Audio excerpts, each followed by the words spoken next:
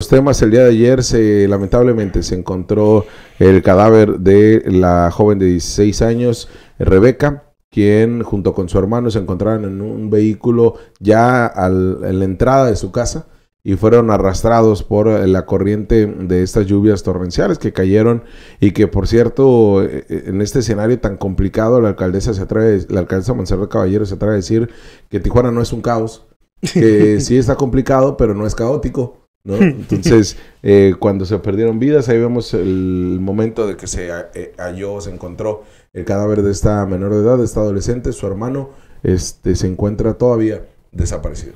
Sí, esto fue en el cañón de los Patos. Catalino Zaval el día eh, de ayer daba a conocer este hallazgo que se da la mañana de ayer, casi casi poco antes de la, de la propia ah, mañanera. Este, eh, pues, eh, lluvias son todavía las evidencias o los estragos que generó la propia lluvia en Tijuana, que sí fue un verdadero caos, que todavía el día de ayer estaban eh, batallando bastante con el flujo vehicular y todavía con las búsquedas, con los operativos. Y pues bueno, ¿no? Protección Civil continúa buscando y otras autoridades de rescate continúan buscando en el Cañón de los Patos a esta al hermano de esta joven de 16 años de edad. No ha sido eh, localizado. Suspendieron creo que anoche la búsqueda, pero continúan el día eh, de hoy. No hay fecha todavía para la conclusión y continuarán en este, en este operativo, ¿no?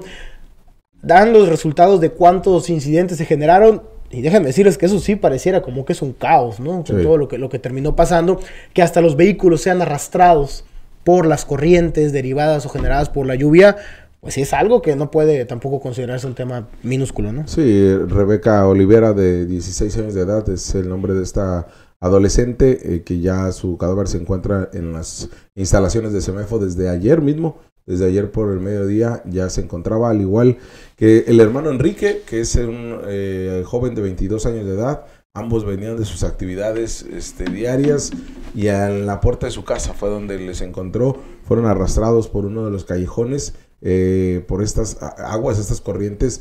Y, sí, en efecto, las desarenadoras son las que terminaron complicando por el exceso de basura que hay, el tema también del drenaje, ¿no? Por el tema de una ciudad en la que el servicio de recolección de basura va en algunas colonias no tan habitual, pero donde la cultura de la limpieza o de mantener limpias las calles, pues no lo es todo porque tampoco hay una promoción por parte del gobierno municipal o estatal. Pero no es la culpa de los ciudadanos. O sea, quitémonos esto de culparnos a nosotros en todas las que el gobierno falla y cómo lo manejan con esta tibieza sin asumir responsabilidades, ¿no? Tampoco estamos diciendo que, que la ciudad caótica, todo es culpa de, es culpa de Montserrat Caballero, pero ella es la responsable de esta ciudad.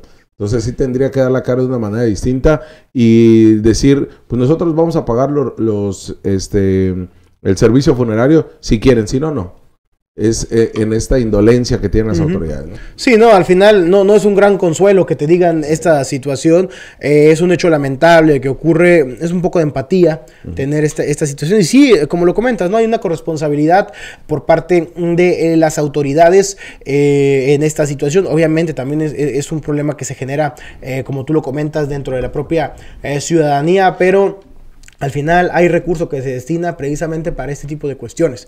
Y si no se está haciendo, eh, eh, es, es precisamente una corresponsabilidad de las autoridades. Eh, todavía no hay más resultados, más datos sobre. Vamos a preguntar todavía si hay algún avance en este operativo que se está llevando a cabo en el Cañón del Pato. en el cual, pues bueno, como ya lo comentamos, el día de ayer fue localizada esta joven. No han establecido la causa de la muerte todavía, si mal no, no recuerdo, pero seguramente está derivada precisamente por, por